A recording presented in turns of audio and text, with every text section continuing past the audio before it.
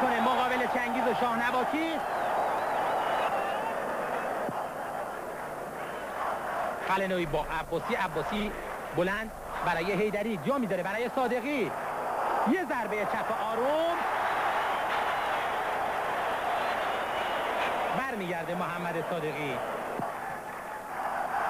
صادقی یه پاس خوب برای قلنوی می‌زنه ضربشم برخود به رجبی برای هیدری اونم یه ضربه آروم اما خوب و عکس عمل ناصر حجازی باعث میشه که ضربه هیدری به ثمر نرسه.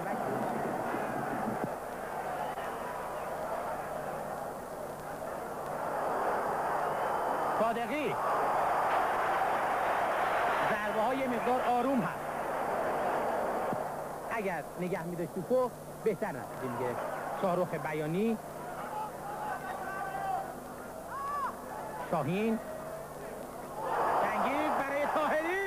یه فرصت عالی.